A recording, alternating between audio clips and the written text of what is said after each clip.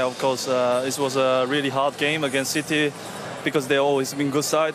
But I think the winning gave us a little bit, or actually very good confidence, and it's a great feeling.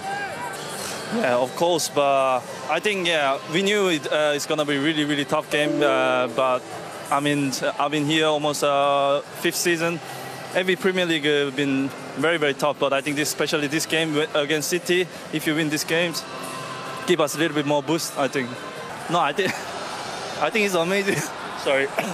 I think it's amazing because uh, we know this feeling and uh, how difficult that is. The first camp, first uh, first game, but he scored amazing goal. I think we are so happy to happy for him and yeah, look at this finish and I can't I can't even yeah we, I can't watch it without smiling and I, we, are, we, are, so happy to and uh, to get this player. I think it's uh, amazing. Yeah, of course. I think every single player. Every single player is very important, especially when they come new, fresh legs, and uh, he give us uh, uh, something new. And look at the, look at his face, and I think every player been like this, and we are so happy for him.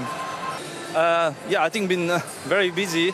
Uh, yeah, with the VAR after three minutes we gave we gave a penalty away, but Hugo Hugo made the amazing save. But yeah, I think was tough for me. It was really really tough, but I think the lads done really really good job and. I think I'm more than happy to get three points here.